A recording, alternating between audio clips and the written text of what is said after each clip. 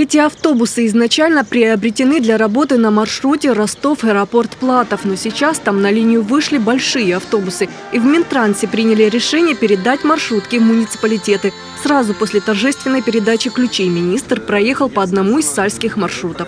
Еще пять муниципалитетов, кроме Сальска, но в Сальске, конечно, это самое большое и серьезное обновление, потому что всего э, 7 автобусов сейчас получили, остальные муниципалитеты, то есть это э, Дубовский, Зимовниковский, э, Октябрьские районы, еще ряд других районов, которые получили по одному, два, три автобуса. Сальск давно нуждается в новом транспорте. Старые маршрутки – это в основном газели, не приспособленные для перевозки маломобильного населения, а новые машины – низкопольные. Я газелью езжу, да, и часто, особенно утром. Представляете, какая напряженность для автотранспорта? Это очень большая с утра.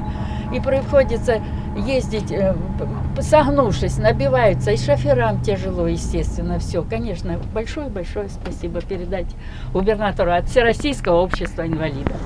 За прошлый год Сальское транспортное предприятие перевезло больше трех миллионов пассажиров на 42 маршрутах. Район обслуживает 70 машин, их средний возраст – 12 лет. У нас три месяца отработали э, пять автобусов, которые в канун Нового года вручали. У нас э, нет, никто не порезал ни сиденья, нигде ничего не оборвал, не оторвало. Мы намотали 200 тысяч километров и около 100 тысяч перевезли пассажиров. Протяженность Сальского района, вы знаете, сегодня дальние у нас населенные пункты, которые находятся на расстоянии 100 километров, это Маноческое поселение, 80 километров, это Новоегорлыкское поселение на границе вот с Шелткинским районом.